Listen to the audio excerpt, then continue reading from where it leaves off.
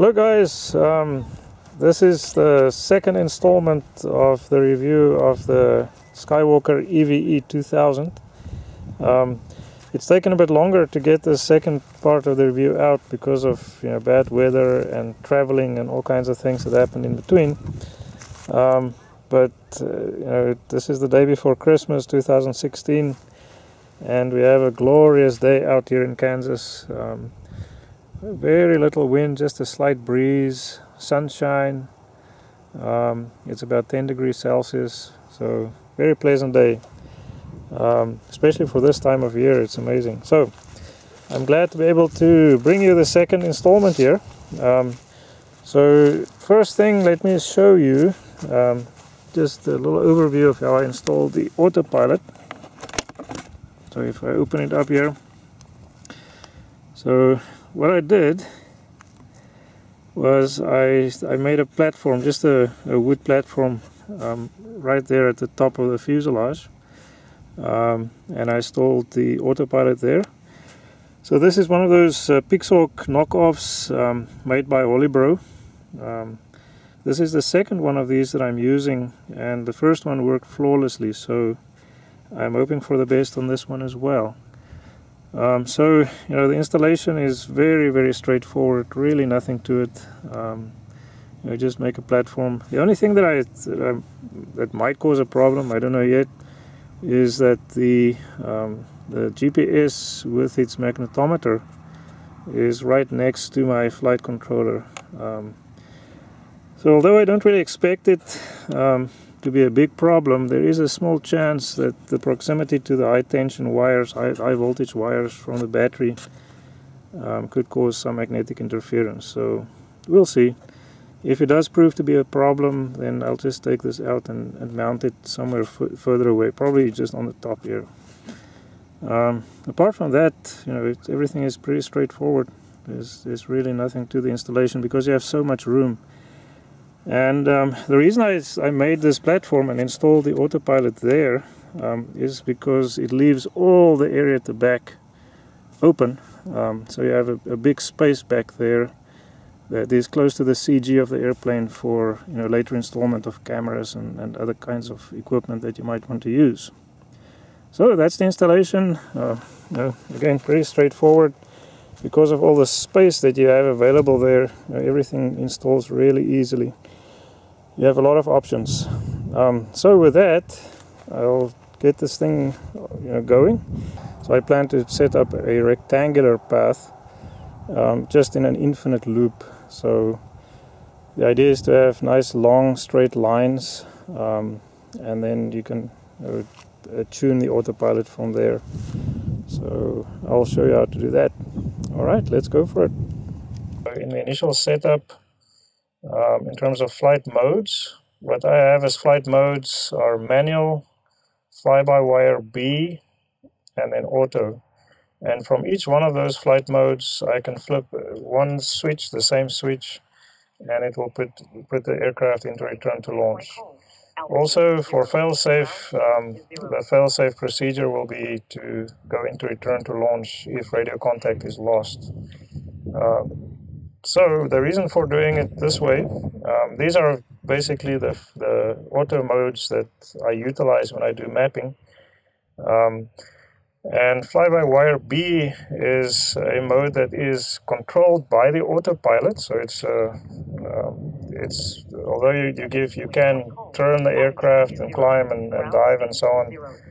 Um, it is actually a, a mode that is controlled by the autopilot, so you don't have correct uh, direct control over the um, over the aircraft.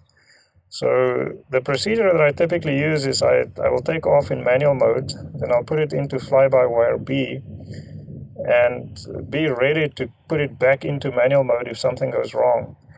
But if everything seems to work okay in fly-by-wire B, that indicates to me that everything associated with the autopilot is functioning normally. And then I can go into auto mode to put it on its mission. Okay, so the next thing I'm going to do is to create a flight plan. Um, so the flight plan is going to be rectangular in shape. with a couple of long legs. And the reason for doing it that way is that I want these long lines um, to simulate to simulate long lines that you will utilize when you do mapping. Um, so I want to make sure that the aircraft can follow a line fairly precisely. So in order to do that, I will um, start to insert uh, waypoints. I'll put the second one over there, and then a nice long line to get it in that area, and then back here. And then what I'll do is I'll put another one um, even though I won't actually be using five waypoints, the, the plane should only follow these four waypoints. Um, I want there to be another one so that I can do a jump command, um, and the jump command is not the last one in the sequence, not the last command in the sequence. So I'll put another command in there, and then I'll go down here, and what I'll do is after waypoint 4, I will add another one. So I highlight number four and I say add below. So now I can change it from a waypoint to a do jump. So now I say do jump and I want it to go back to waypoint number one. Now in terms of repetitions, you can set how many repetitions you want, but if you want an infinite loop, which is what I want in this case, then you make the number minus one. So what it will do now is it will fly, when you start auto, it will fly to waypoint 1, then 2, then 3, then 4. And then instead of going to 5, it will do the jump back to 1. And it will just continue to do that infinitely until you stop the sequence or stop the auto autopilot mode. Okay, so um, the other thing I just need to make sure of um, is what the altitude will be. My default altitude typically will be 100 meters, and this, this is indeed what it is.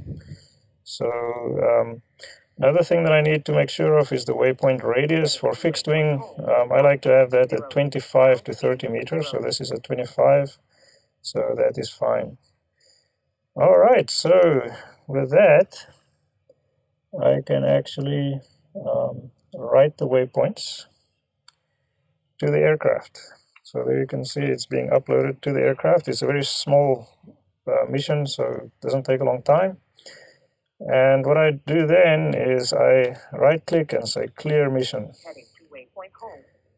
This is just a, a, a, procedure that ensures that you have the intended um, auto file on the autopilot. So I clear it from here. And then what I do is I read waypoints. So when you use the read waypoints command, it will read whatever flight plan is on the aircraft. And um, there you can see it, it read back the, the plan that I had in mind. So let's check here. You have uh, five, uh, six commands, five waypoints. The first four will be utilized and do jump back to one. Um, and minus one for repetitions. Okay, so everything seems to be in order as far as that's concerned. So now I'm going to go back here and um, check the airplane uh, parameters to make sure that everything is as expected, is as normal. So um, we have uh, 3D GPS, uh, which is what we need for automated flight. Um, the horizontal dissolution of position, the HDOP, is at 0.6. That is brilliant. That is great. Um, satellites number is 20. Now, this is something that you would not expect to see when you use uh, the, the real name brand Pixhawk from 3D Robotics. Um, so the Holybro system actually does a better job. So for in the same place, same type of uh, conditions, the, the, the name brand Pixhawk will get about uh, between 11 and 14 satellites typically. And the HDOP will be somewhere between 1.2 and 2.4. Um, so this HDOP value of 0.6 is really excellent. Um, Okay, so we have a battery voltage indicating a fully charged battery, 16.49 volts for a four cell. That's that's where you want it to be. I always check my amperage, make sure there is no, um, no unwanted amp draw. So 0 0.1, 0 0.2 is, is typical for, for a system like this as a resting amperage. And that is indicating that I have a fully charged battery. And I can't see any other indications of errors. Um, so the aircraft is positioned so that it's parallel to the runway there, like this, in this direction. So this, this gives me some idea that the um, my uh, magnetometer on the aircraft is functioning normally. Okay, so you can see that the, the, the aircraft is at a slight angle there. Uh, but that's just as it's sitting on the ground. That is that is normal.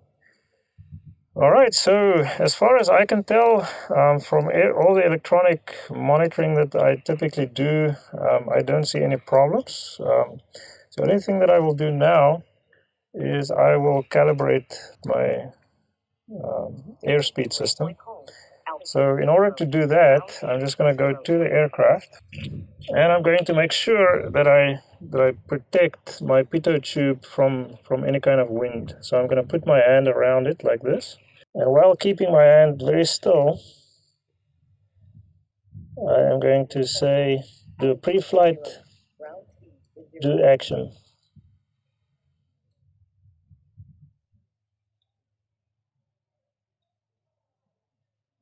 All right, and that calibrates the airspeed sensor.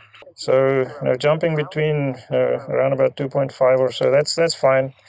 It's just because of you know the, the background electronic noise as well as some wind noise that's that's affecting the sensor there. But this is what you would expect on conditions like today. All right, so um, everything looks fine. Um, so the next step is going to be to actually fly this thing.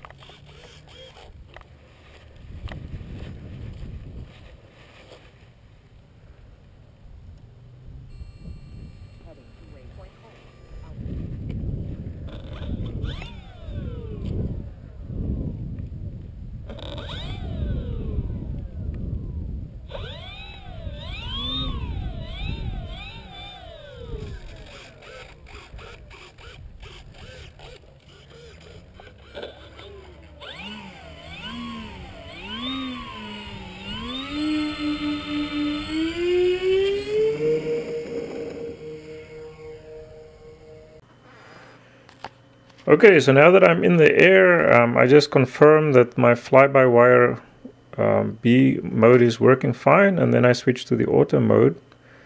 And um, everything appeared to be fine. The, the aircraft did not behave in any abnormal way.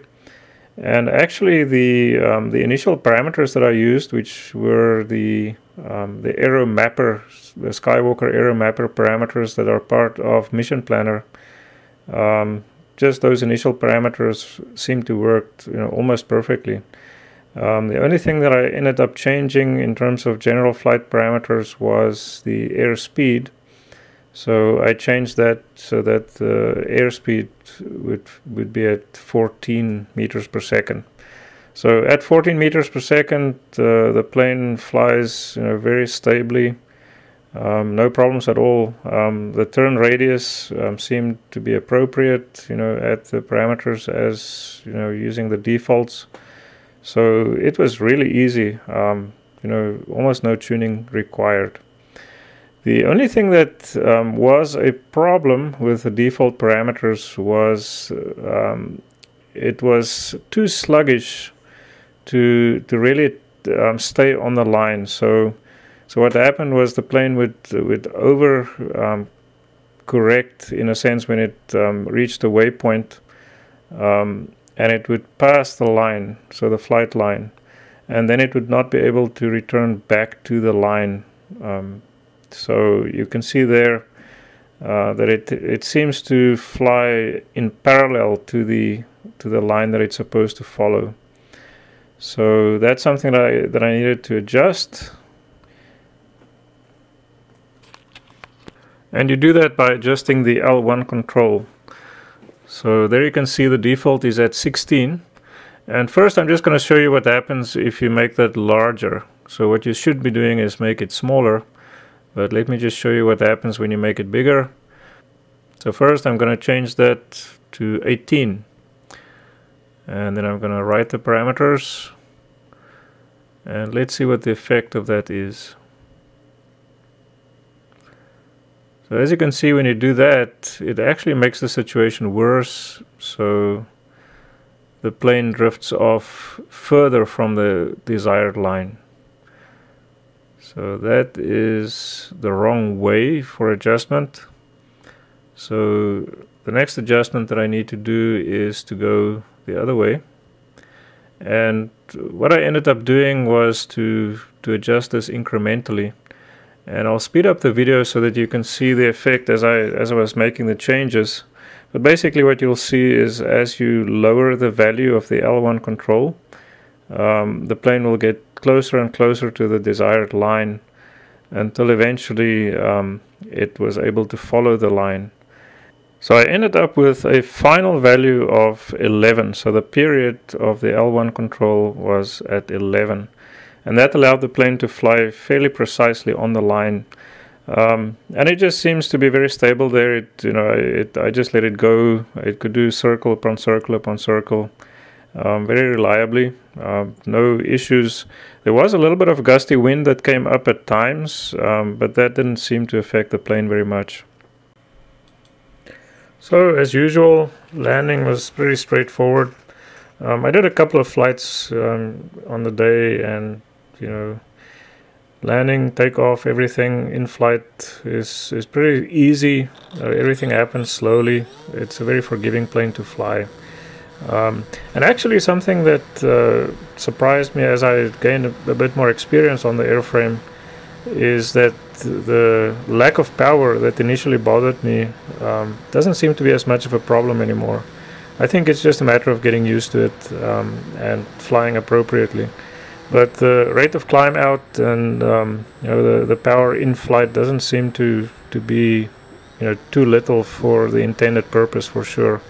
So um, I know that it bothered me a little bit, and I, I made a point of that in the first part of this review. Um, but I think in hindsight, um, it is not such a big deal. Um, there is enough power for the purpose of the plane.